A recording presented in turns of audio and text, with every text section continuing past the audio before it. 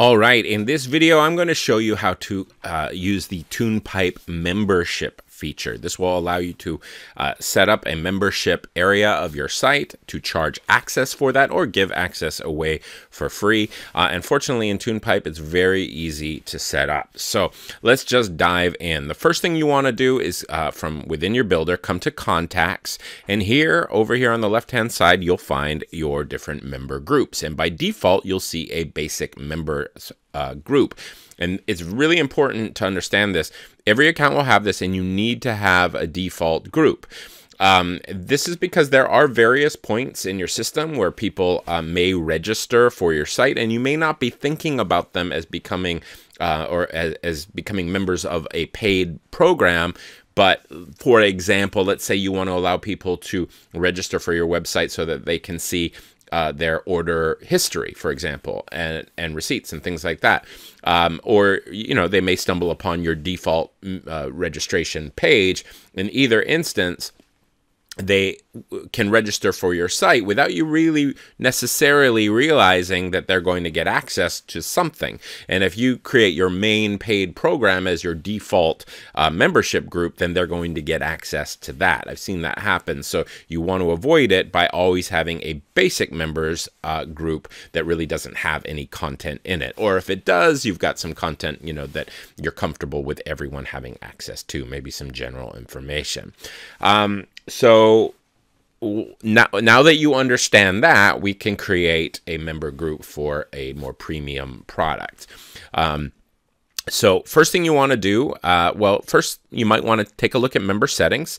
Um, you'll see here allow registrations. Uh, in order for people to register, that will need to be ticked. It is by default. Member approval. This will um, force you to give uh, to approve all members. I recommend leaving it off, but you may have your reasons for wanting to leave it on.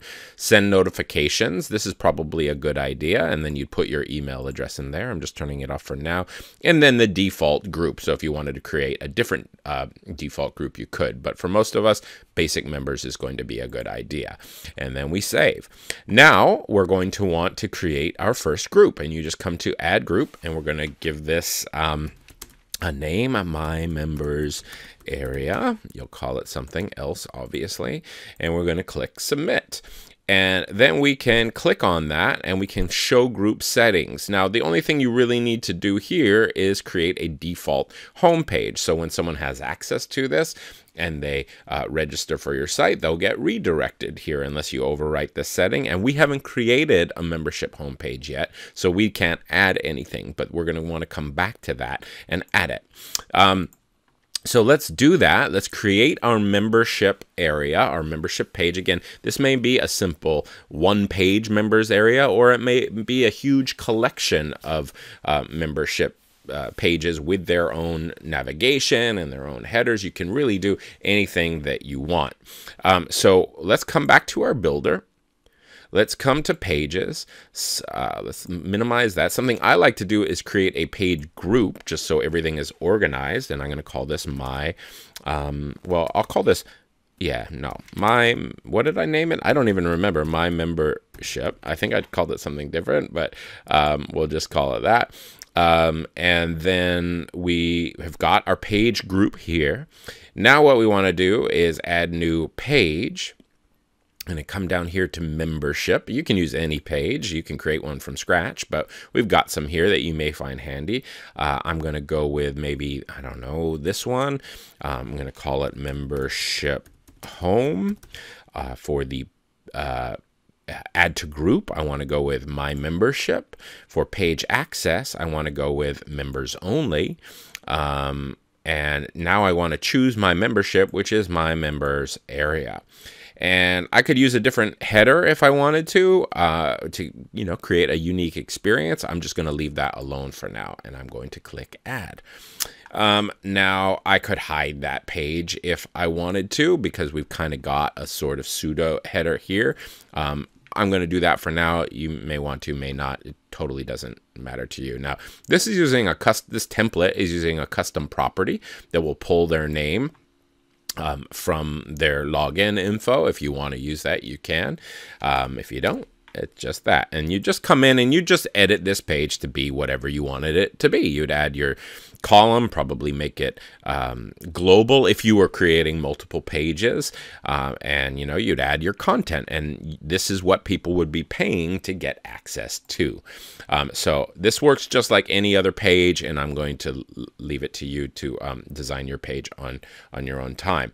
But now what do we want to do if we want to you know give people access to this? And again if we wanted to create multiple pages like march and february and january we just create new pages and we just link them together here in the navigation. And just as i showed you before we would give access uh, or we would assign them to the member group. Now we've got our home page however so i'm going to open this up in a new tab. Um, i'm going to just um, well it's making me log in. I actually i i can't log in because i'm not i'm not yet a member. So we'll do it a different way actually an easier way. We'll come back to contacts.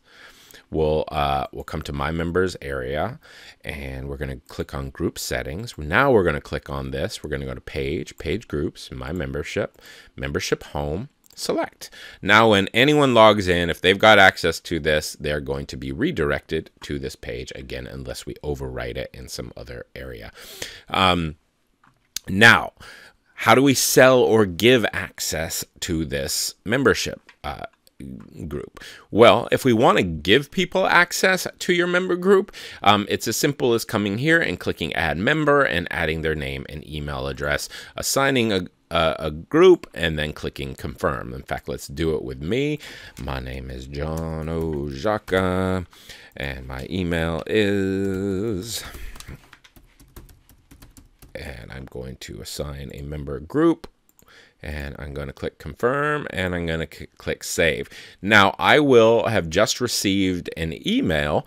Um, in fact, I just got the buzz on my phone asking me to set up or create a password. And once I do that and log back in, it will redirect me to the home page that we just set up. But what if I want to sell access to this product? And this is where what most of us are going to be doing.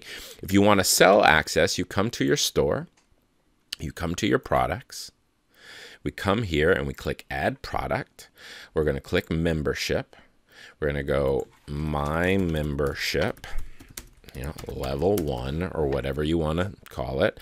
We're going to go maybe $5 subscription product. I want to charge every one month, or you could do every 12 months, whatever you want. You know, add your image, do all your things so that it looks the way you want it to in your store. Um, type of product membership, select the group, my members area, click confirm. You've got these other options here, custom thank you pages, apply tags, all of which are, you know, good ideas, but I'm just trying to move ahead. And now if we click preview, we can see that uh, someone can just order this, go to checkout, uh, and of course, you can add this to your checkout forms as well, and someone can purchase. And once they purchase, if we proceed, you'll see that they are asked uh, to create a, where is it? Here it is, set password. And when they create the password, they'll automatically get access upon ordering and they'll get an email, you know, that gives them access. And something that's a good idea to do is to create, if we go back to the builder, to create some way for people to um, log in to your members area. So what you can do is create a login uh, link here in the header, uh, or if you want, you can use uh, one of our login profile links, which adds a little sort of profile image to the header, just so people can find their way. And I'll show you an example of my own site that uses this, um, which is Music Marketing Manifesto. And you can see here, I've got the login link. And if somebody clicks it, um, they'll be taken to a sign up page. I'm actually already logged in. Um, so instead of seeing the login page, or I'm seeing seeing all of my products in my order history. I haven't ordered anything. I've given myself access for free, so I don't see anything there, but you've got details and address and, you know, all of the information related to yourself. Uh, again, this is something that you would be using as the customer. So that is how you would create a membership program and charge uh, for access or give access to that program. But there's one more feature I want you to be aware of, which is the, the default sign-in form. So if we come over here to our builder, come down to system pages, come to member login or registration and click on this. um, this is this page here, which we can uh, pull up, uh, is the it's just going to be yoursite.com forward slash sign in. Um, but there, there are, you have the ability to adjust some options here as well. So enable login. So if I don't want people to be able to register, for example, I can close that off and now people will not be able to register for this form. Or if I've got, let's say, a default uh, program that I want people to be able to access, then I can turn this on, and then the the, the um, where is it? The default uh, program, use the default group would either be basic members or my members area. So let's say you have a thousand members that you need to give access to very quickly, um, and you're not concerned about uh, people sneaking in, you can go and email this link to people. You could turn the default membership group would be my members area, the paid program, and then I could send the uh, registration link if I if I just uh, enable registrations. I could send that to people and allow them to create their own or to give themselves access um, rather than going and having to add them all one by one. Um, Again, the risk here is that people if anyone else gets this form, they can also get access to uh, to overcome this. You could uh, enable the approval setting uh, or just keep an eye on people. Again, I don't normally use this, but it is there, and I wanted you to be aware of it. I normally turn um, enable registrations off, um, and then leave enable uh, login on. Then I go to, uh, you, well, you, actually, I don't use this either, but you've got show custom page after login, and you can send all people to one page no matter what they sign up for. The issue here is that you need to remember that you've set this up because um, you've also got that default homepage on the membership uh, levels and uh, that will be overwritten if you use anything here. Uh, so I tend to leave it off and then let people redirect to the, the designated homepage of each membership tier. Um, but if you've got a lot of programs and people have access to a lot of those different areas, you may want to have one universal homepage, which is your uh, basic members area that just says hi and welcome and, you know, basically shows people how to navigate the members area to get access to their different paid programs. So there's a lot of flexibility there. You have a lot of control. You can make your membership area be anything that you want it to be, and you can easily charge or give access to that membership area. And you can create multiple, an unlimited number of different membership groups as well.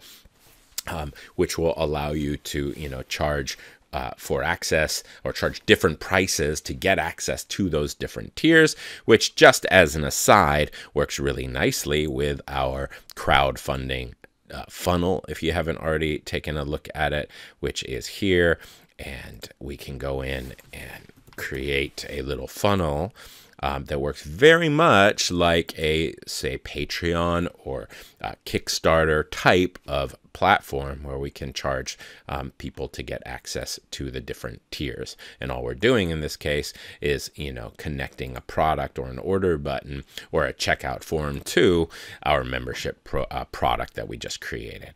All right, that is how you use the TunePipe membership feature. And as always, if you have any questions, just get in touch with our support team. All the best.